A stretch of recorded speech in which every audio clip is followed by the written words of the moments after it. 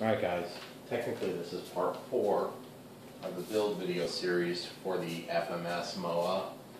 Um, but the thing is about this MOA, we got, I don't know, like eighty-five percent of it done. The most of it's left is just gonna be radio setup.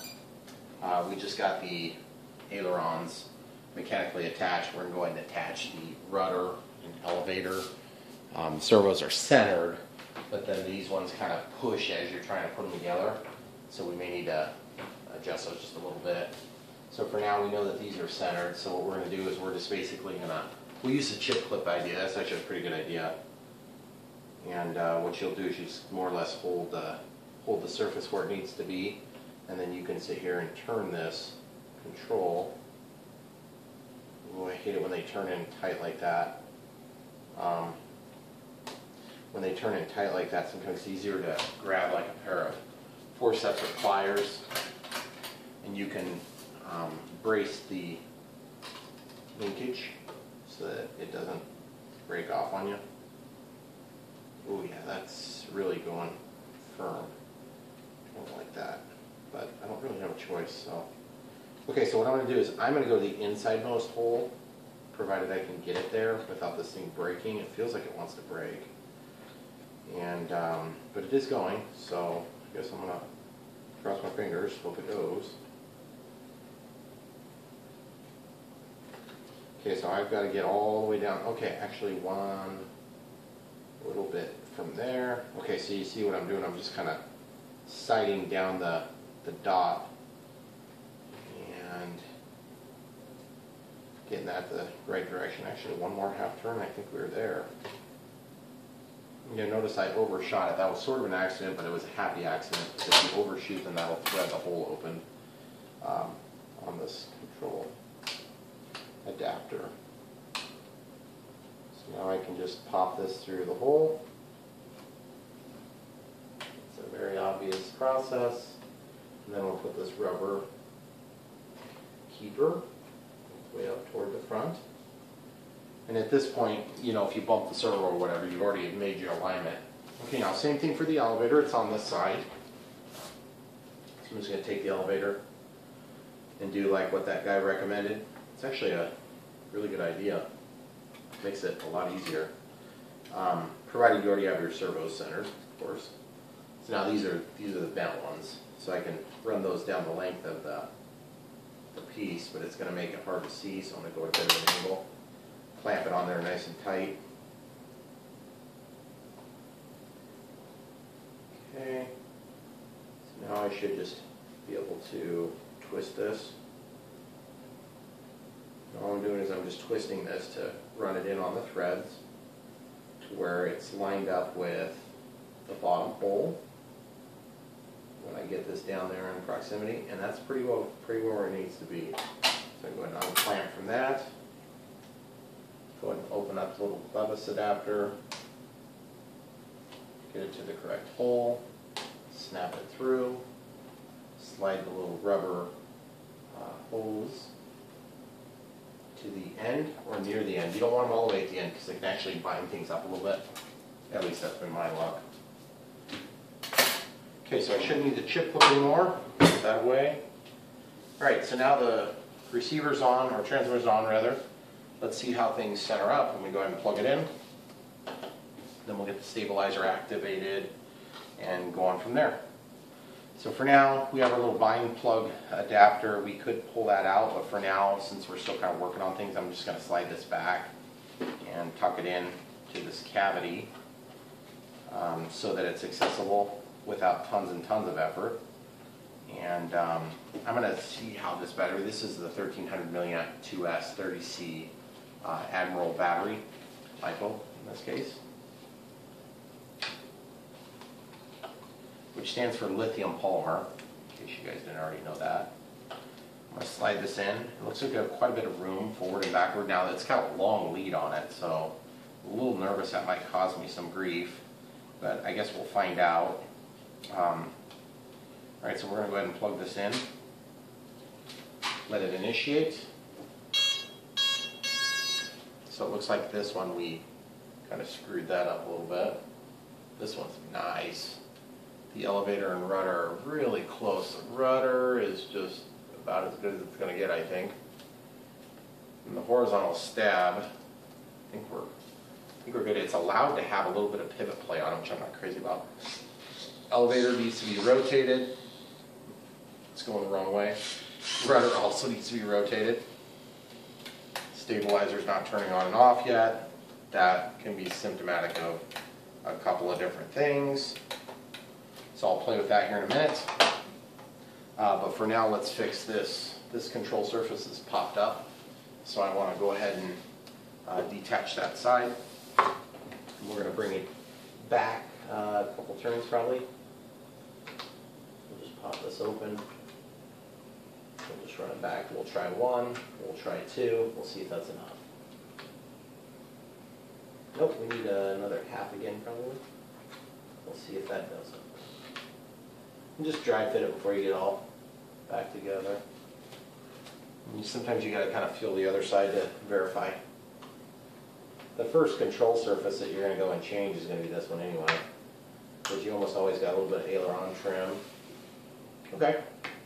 So that's pretty well lined up, so at least we're starting from a neutral control surface. Um, Okay, so now just sighting down the length of it. See we're just lined up pretty good there, nice and smooth. Okay, let's see how our ailerons are. Yep, they're also backward, why would they be straight? Let's switch them all. So the way we're gonna do that is throttle cuts on, just so you know. We're gonna go into our system setup, or servo setup. Then we're gonna go travel, we're gonna go to reverse, and every radio is a little bit different. We're gonna change right aileron, elevator, rudder, and left aileron. Okay, so now that rolls us, rolls us, elevates us, down. Yep, all right, so they're all going in the correct direction. Up, down, roll left, roll right, up and down. And it looks like we actually might want to adjust this um, just a little bit because you'll notice, I don't, I don't know if you guys can tell in the video, but looks like the throw up, throw down are not quite even. I think I want to bring the elevator, actually I want to extend it just a hair. It's up, that's still on, just double check that before you let go of a control. So I'm going to actually just slide this back, open this out, going on plug the clevis, and I'm actually going to shoot this clevis out. We'll go out like one, one turn, we'll see if that does enough. I think it's probably going to be about right.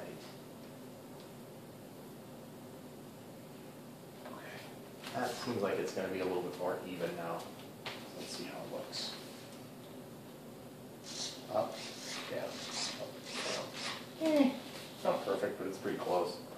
I mean, it's gonna be fine, because the glider, you probably don't want it to be trimmed downward a little bit anyway. Actually, I might, I might go yet another, another one turn. Problem is, if you leave all your trims for electrical trims later, then you, especially when you're using a stabilizer, it can really screw with you. You'll end up with trimming enough that uh, the stabilizer interprets that as input from, from you as the pilot. And so what ends up happening is you, you defeat your stabilizer with your trim setting. So I've heard some people say like three clicks or whatever, and I'm like, I don't think it's that sensitive, but I'm just moving left and right. Looks like we need to get that over just a just a little bit more too. And the more you fine tune it now, the less you're gonna have to fight it once you get up in the air.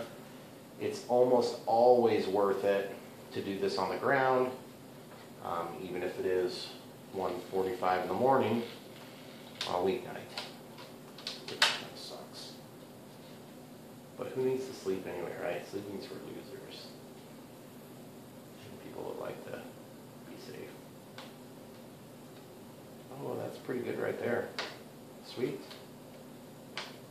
Okay, so we're going to go ahead and twist this just a little bit to get it centered.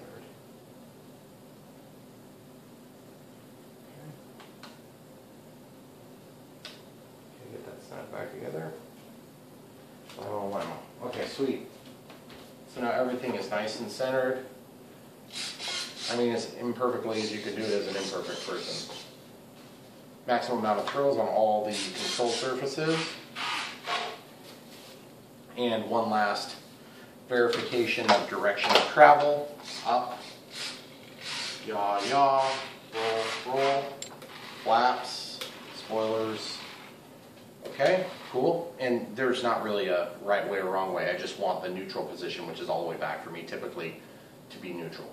And then still work as ailerons, work as ailerons, and then I can program in differential because I have these both as separate channels.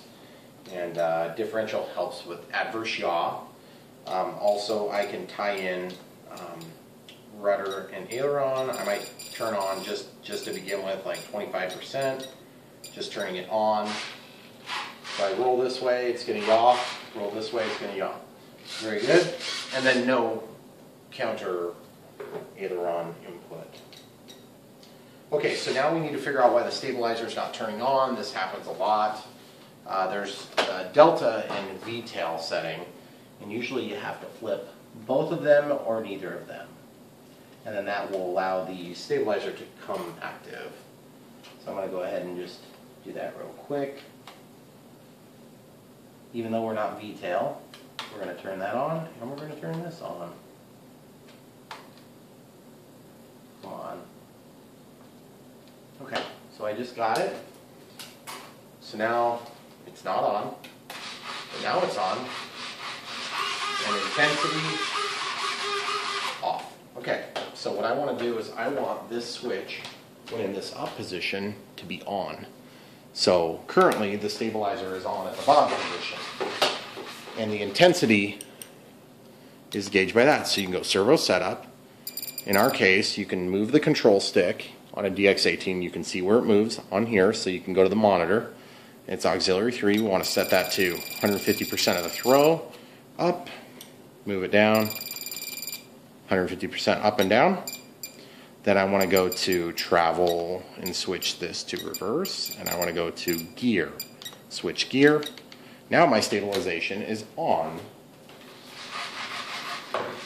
with of course everything working not necessarily the correct direction, but still working. Intensity all the way, off, on, off, on, all the way down, slowly increasing, slowly decreasing. Okay, you see how that works, guys? Pretty straightforward. So now, uh, also we want to make sure that the flaperon is supported, and this is how you can tell stabilization all the way up just so you can see it real easy. Turn your flaps up or down, doesn't matter. Make sure that they both correct. Also make sure that your ailerons both work. And that's how you can tell that you have flaperon support activated. Off. Now, at this point, we need to rotate some of the axes because right now your stabilizer is going the wrong way. So let's turn it on. Let's see what way it goes. Up is down. That's bad. That's correct whatever direction you move the plane, you want the control surface to go that direction. So watch this. Up, that's wrong. Watch this. Up, that's wrong. We have, whoa, that's, that's convenient. Both are wrong. That takes effort. So now we need to flip some dip switches here to switch a direction.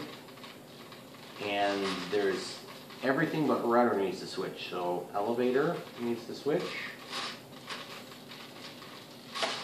And then ailerons need to switch. Okay.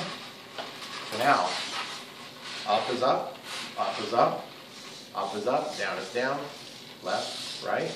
So what's going to happen is as the wind pushes its wing up, the aileron is going to fight it. It's going to fight it. Up is up, down is down. So as the wing, as the pitch of the craft is pushed up, the airplane's going to try to correct for it. And as the plane's trying to yaw, like let's say you're going like this, it wants to start falling, it's going to try to correct. So stabilization's working, off, on, off. Now let's make sure our direction of travel is still correct. Sometimes you can correct that with those settings. So we know the stabilizer is working right. we're rolling correct, we're rolling correct. You notice I lean my body, it's just a habit. I've learned to do that over time. It's helped me to process the direction because after I crashed my grandpa's plane that he had like 60 hours and I learned I need to have a more effective method for that. Now, let's also look at, I need to lay this down. I think I, I don't have these quite exactly true. It's hard to tell because the thing is kind of moving around a little bit. Looks like this needs to come up and this needs to go down just a little teeny bit, but I'm not sure if I want to try to do that mechanically. That's a pretty small adjustment. But you guys get the idea. I might go ahead and fine tune that last little bit. Um, let's see how this fits in here and let's check the CG real quick. Okay, so the thing is hollow in there, so that's kind of nice. I think we're gonna fit okay. Oh yeah, that's beautiful, guys. I'll turn down the stabilization a little bit.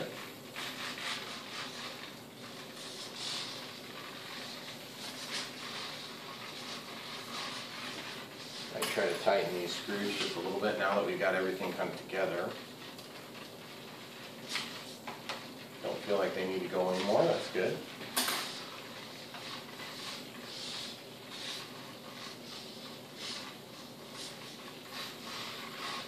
All right, guys, there you have it. A pretty plane. It's really cool. I'm super excited to fly this thing. I'm gonna spend a little bit of time get these ailerons exactly where I want them. Um, center of gravity markings are here and here, and here and here. So I'm gonna go ahead and just hold my finger on it, right in the center. And boy, look at that, guys. That's pretty darn good. It's not perfect, but it's good. Perfect on this plane would be a little bit nose down, in my opinion. It's an opinion thing, of course. So what I can do is I'm just gonna slide that battery forward just a little teeny bit. That should make a pretty big difference on this plane.